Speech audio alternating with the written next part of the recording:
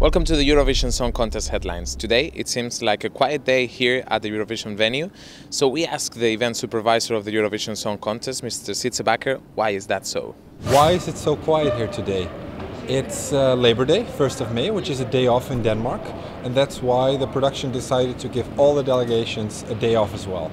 But behind the scenes at the arena, there's a lot going on actually rehearsals of interval acts, opening acts, voting acts, and of course, a lot of meetings to uh, prepare for next week. Preparations are going fine uh, once the uh, machine, as we call it, has started up, once all the delegations are here. Uh, preparing for their performance in the semifinals and the final. Uh, it just goes, it just keeps going, and, uh, and everything goes as planned. So, if today there are no rehearsals, where are the artists?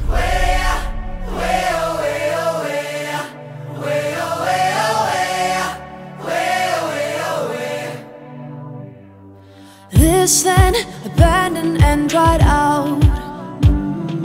This land, no one hears you shout.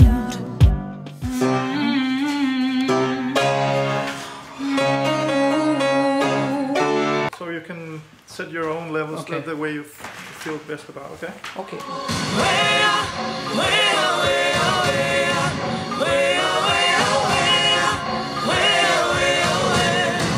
How many times you have to sing? Ten. Lucky. Hands, let the rain dance. The trophy that the winner of the 2014 Eurovision Song Contest will get on Saturday, the 10th of May, has just arrived, and we have it here. Oh, where is it? It's gone!